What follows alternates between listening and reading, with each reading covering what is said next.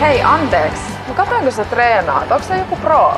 No siis mä oon fitnesskisoihin menossa. Ah, okay. Sopisiko hei kimppakuva?